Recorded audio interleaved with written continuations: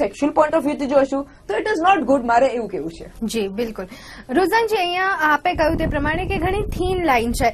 ક્યાંક આપણે અત્યારે હવે આ જે જજમેન્ટ આપ્યું છે હાઈકોર્ટે ક્યાંક કહી શકાય કે ઘણા ઓછા આવા કેસીસ બનતા હોય છે ઘણા ઓછા લોકોને અન્યાય થવાની અહીંયા શક્યતા છે પણ ક્યાંક અન્યાય થશે.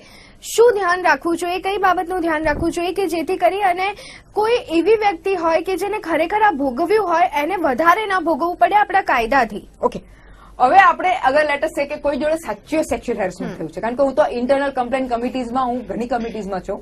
ગવર્મેન્ટમાં બી છું એડ્યુકેશનલમાં બી છું અને પ્રાઇવેટમાં બી છું. કમિટીની એક્સટર્નલ કમિટી મેમ્બર. બરોબર છે? ઘણા કેસીસમાં મેં જોયું છે. હવે તમે સિમ્પલ એક બે એક્ઝામ્પલ આપો તો તમને આઈડિયા આવી જાય. એક કેસમાં એવું જોયું કે જેન્યુઇનલી પેલો ભાઈ પોર્નો જોય આ બંને બાજુમાં પેલી બિચારી છોકરી કામ કરતી એટલે પેલો ભાઈ જોય એટલે પેલીનું તો ધ્યાન જાય જ.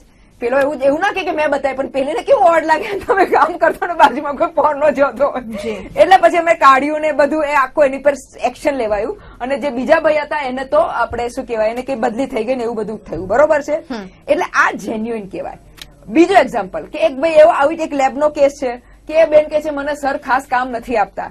કારણ કે મને મને નાનું બતાવવા માંગે છે મને પેલું કે તું ડફોડ છે ને તું કામચોર છે ને એવું બધું બતાવવા મને લેબના સેમ્પલ્સ આપતા નથી. હવે એ ભાઈએ પ્રૂફ ઓન રેકોર્ડ મૂક્યું કે ભાઈ એવું નથી. આ લેબના સેમ્પલ્સ હવે આ પર્ટિક્યુલર લેબમાં જેટલા હોય એટલા જ સેમ્પલ મોકલે ને બધા આવે ને તો કે થોડા ઘરેથી જોડી જોડીને મૂકવાનો છું. પછી ખબર પડી ઇન શોર્ટ કે એને actually it was not sexual harassment it was work place issues but it is not call sexual harassment કે ભાઈ તમને સેક્સ્યુઅલી હેરેસ કરતા હતા. એટલે આ રીતે જ્યાં, એટલે અગર જયારે ઇન્ટરનલ કમ્પ્લેન કમિટી બેસે છે ત્યારે જોઈ છે આવું. અગર તમે આ પર્ટિક્યુલર જેના પર જજમેન્ટ આવ્યું, એ કેસની વાત કરો તો સાચી વાત છે કે પેલા ભાઈએ બેનને ધક્કો માર્યો જે બહુ ખોટી વાત કહેવાય. બરોબર છે? એના પર એવું એવું રખાય. એ- કલમો આવે છે કે તમે કોઈ બેનને ધક્કો મારો પાડી નાખો તો તમે એ કલમો વાપરો.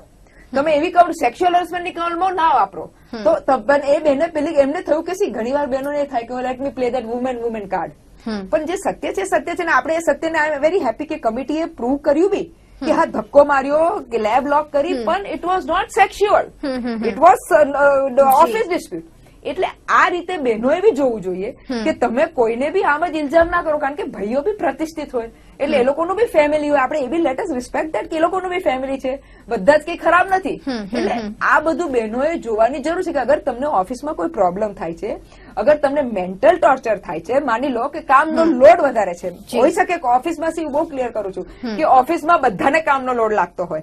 તમારો બોસને બી પ્રેશર હોય ને પેલા કદાચ પ્યુનને બી પ્રેશર હોય. બરોબર? એકવાર એ બી કહી દો પ્યુન તો રવિવારે રજા લઈ લેશે. કદાચ તમારી રજા નહીં થાય તમે નહીં લો ને બોસ નહીં લે એ બી તમને કહી દો પણ તમે પ્રેશર ને નામ સેક્સ્યુઅલ હેરેસમેન્ટ ના આપો. તમને અગર પ્રેશર થાય છે તો તમે છોડી દો. બીજો જોબ લઈ લો. એવું તો કઈ છે જ નહીં કે આજ કંપનીમાં તમારી જિંદગી વિટાવાની છે. એટલે એટલી બુદ્ધિ આપણામાં આવવું જોઈએ. એટલે મારી બહેનોને બી કેવું છે કે ડોન્ટ મિસયુઝ ધ લો ને સામે ભાઈઓને બી કેવું છે કે બી કેરફુલ કે અગર તમે આડાવેલા તમે બચવાના નથી એ બી તમને કહી દો કારણ કે અગર તમે કોઈ છોકરીને ખાલી એકવાર તમે છોકરીને આમ આમ કરશો તો છોકરી કમ્પ્લેન નથી કરવાની.